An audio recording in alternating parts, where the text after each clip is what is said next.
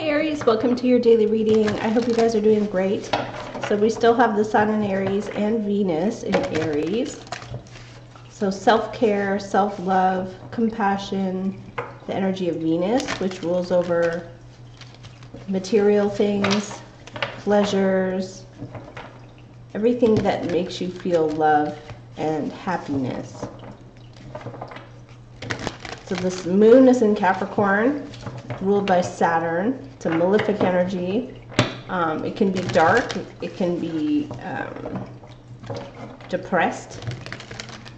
Capricorn is about reputation, and the moon is here, so it has to do with um, things that are hidden coming to the surface, but I don't feel like there's anything dark or bad.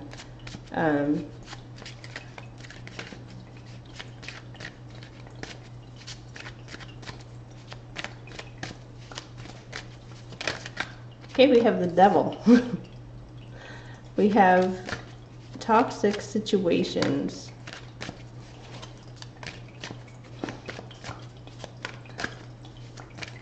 A toxic person, perhaps, who could be trying to control you, manipulate a situation, have power. Chariot in the crossing. You're getting away from this person. You're somebody is, you know, getting out of a situation the energy of mother and child again. It's the rescue me card. Nine of Cups, a wish comes true. Somebody could assist you, Six of Pentacles, in getting out of a situation you don't want to be in. Two of Coin, Ten of Cups is you. Happiness, great happiness and joy. Somebody assists you they help you. They feel charitable. This affects the way you feel.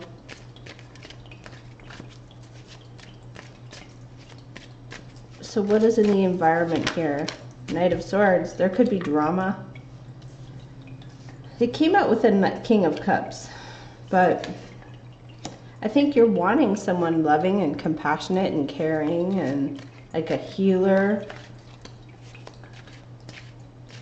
there's a person around you today who could be flying off the handle, losing their temper. Why are they losing their temper? Oh, because they're they probably want to be in control.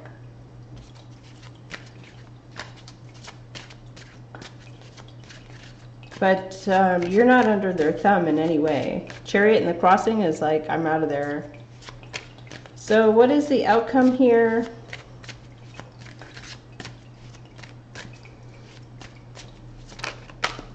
Queen of Coins, Capricorn, Taurus, Virgo energy. And um, somebody who's very practical, generous, kind. The Hierophant, Taurus. Religion, stability, institutions. Somebody who can grant mercy, someone who can um, be merciful, Somebody who brings in order as well, like an orderly person. What is this Knight of Swords? Somebody flies off the handle. Who's flying off the handle? We, the tower. What is the tower about?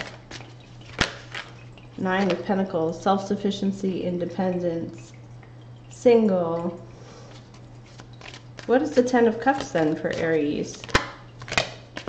Could have to do with money. We have a Queen of Cups and a King of Air. So we have someone who's kind of harsh. They could be losing their temper. There's conflict. They're taking control. They don't show any love. You're wanting a person here to show love who is showing icy cold. What is the mother and child under underlying energy is rescuing?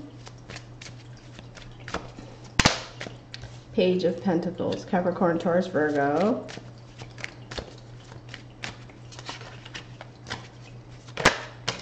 The strength, courage, strength, and Emperor. Wow. So you're wanting to, you might be wanting to rescue someone. who you feel needs help. Okay, what is the Queen of Pentacles and the Hierophant about? Money, wealth, abundance, banks, institutions, um, large systems. Wow, the Death card. Something here is changing or ending. Nine of Cups is what comes in, so you're happy. What is the Nine of Cups about? Justice is being served here. Okay, so somebody is being rewarded for something that they've gone through. You could be the one helping them out as well. The death comes in to end a situation. Magician on the bottom with the Five of Swords and the Ace of Cups. Four of Cups. Okay, so what is this death energy right here? What is changing? What is the, it could be Scorpio. What is the death card for Aries today? Seven of Wands. Fighting, standing up for yourself, being courageous. And the Wheel of Fortune starts to change. What is the Six of Coin? Somebody helps you out or you're helping someone out out of a situation here that's Ten of Swords. It feels very defeated. Knight of Cups. So there's like a knight in shining armor of sorts. What is this um, mother and child and page of pentacles? Temperance. Patience.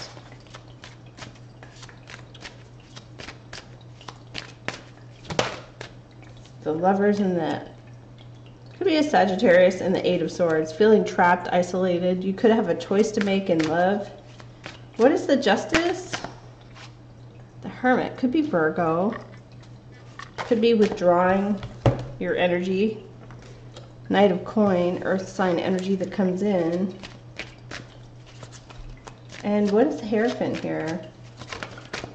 Three of Wands and the Three of Swords. There's something here that's heartbreaking. It could be in a marriage situation. So a person here is deciding to move on out of that situation. Who or what is the Knight of Cups? Six of Swords and Magician. Could be a Gemini. Could be something you've manifested. Knight of Wands, Nine of Swords, and the Death card in Leo, and Ace of Cups. okay. So the outcome energy was Queen of Pentacles, grounded earth sign energy, money, wealth, great abundance, but there's a change here. There's an, an ending. There's heartbreak and pain, and somebody is looking to move on. Now, your the energy coming into your awareness is that this is very happy. This is like a wish that comes true because justice is being served there could be a choice in love for you as well. Triumph. The energy of a victory. Sacrifice, which is hangman. Self-sacrifice. You might be helping someone and it feels like a self-sacrifice, but for some reason you're you're doing this out of the charitable kindness of your heart sacral chakra. Second chakra, it has to do with socializing. And then we have here truth, the energy of justice being served. Truth and triumph. Death card comes in on the white horse to make a change happen where it won't be the same as it was. Trapped in fear. Somebody here could be trapped in fear and have financial and material change. But I do feel like you're going to overcome that.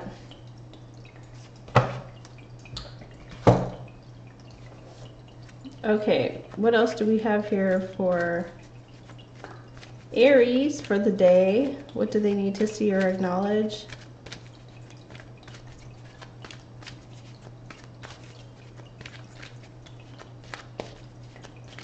What does Aries need to see or acknowledge?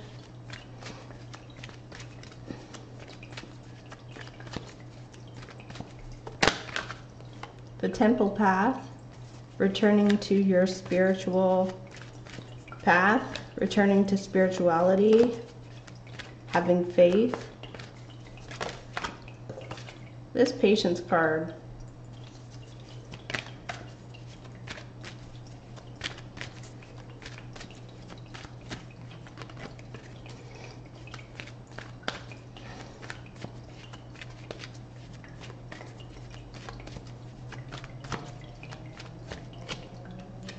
all tied up.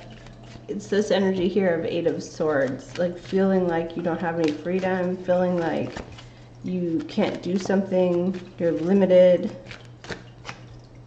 And the happy family. Okay, so everything pretty much works out.